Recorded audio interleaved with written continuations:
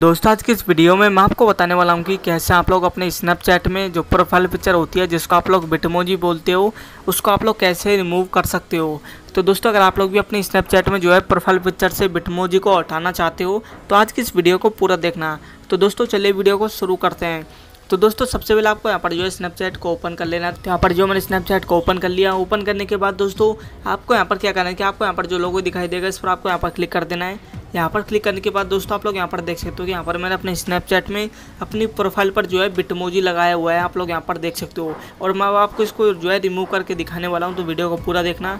तो दोस्तों इसको रिमूव करने के लिए आपको यहाँ पर क्या करना होगा कि आपको यहाँ पर जो राइट साइड में जो सेटिंग का ऑप्शन दिखाई दे रहा है ऊपर की साइड तो आपको जो है सेटिंग वाले ऑप्शन पर आपको यहाँ पर क्लिक करना है।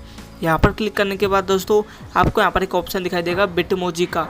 तो आपको जो है बिटमोजी पर आपको यहाँ पर क्लिक कर देना है। यहाँ पर क्लिक करने के बाद दोस्तों, आपने जो भी स्नैपचैट पर अपनी प्रोफ़ाइल में जो भी बिटमोजी लगाया हुआ होगा, वो आपको यहाँ पर दिख जाएगा। उसके बाद दोस्तों, आपको यहाँ पर क्या करना है कि आपको यहाँ पर इसको रिमूव करने के लिए आपको यहाँ पर नीचे एक ऑप्शन दिखाई दे रहा है अनलिंक माई बिटमोजी तो आपको जो है अनलिंक माई बिटमोजी पर आपको यहाँ पर क्लिक करना है देन आपको यहाँ पर दिखाई दे रहा है अनलिंक तो आपको अनलिंक पर आपको यहाँ पर क्लिक कर देना है। जैसे दोस्तों आप लोग यहाँ पर अनलिंक कर दोगे, उसके बाद दोस्तों आपका बिटमोजी है, जो आपने अपनी प्रोफ़ाइल पिक्चर पर लगा रखा है, वो यहाँ पर जो है रिमूव हो जाएगा। आप लोग यहाँ पर देख भी सकते हो कि मेरा बिटमोजी यहाँ पर यहाँ से जो है रिमूव हो चुका है। तो इस तरह से आप लोग भी जो है स्नैपचैट में रिमूव जो बिटमोजी होता है, उसको यहाँ पर यहाँ से रिमूव कर सकते हो प्रोफ़ाइल पिक्चर से। तो दोस्तों आई होप कि आपको समझ में आ गया होगा। तो आज की इस वीडियो में बस इतना ही। अगर आपको वीडियो अच्छी लगी हो तो वीडियो को लाइक करके जाना और चैनल को भी सब्सक्राइब कर लेना, क्योंकि मैं इस तरह की वीडियो आपके लिए जो है लाता रहता हूँ। तो दोस्तों, आज की इस वीडियो में बस